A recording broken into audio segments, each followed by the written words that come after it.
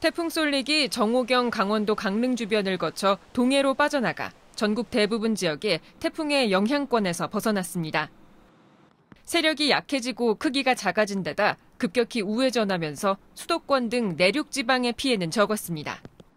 경기도에서 석축 붕괴 우려 등으로 긴급 대피한 주민 41명을 제외하고 별다른 피해는 거의 없었고 서울의 출근길은 우산을 쓰지 않아도 될 수준이었습니다.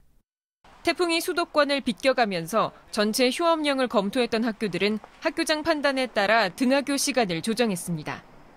하지만 태풍의 직접 영향권이었던 제주와 전남 지역에선 3명의 인명 피해가 발생했습니다. 강한 비바람으로 인한 공공시설의 피해도 계속 집계되고 있는 만큼 당국은 쏠릭의 동선을 주시하며 긴장의 끈을 놓지 않고 있는 상황입니다. 중앙재난안전대책본부는 지자체 대처 상황과 태풍 피해 지역을 점검하고 응급 복구에 집중하고 있습니다.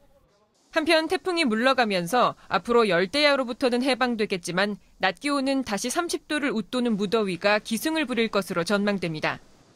기상청은 9월 상순까지 늦더위가 지속될 가운데 남동쪽에서 또 한 차례 태풍이 북상할 가능성도 있어 주의 깊게 관찰해야 한다고 전했습니다. TBS 구균진입니다.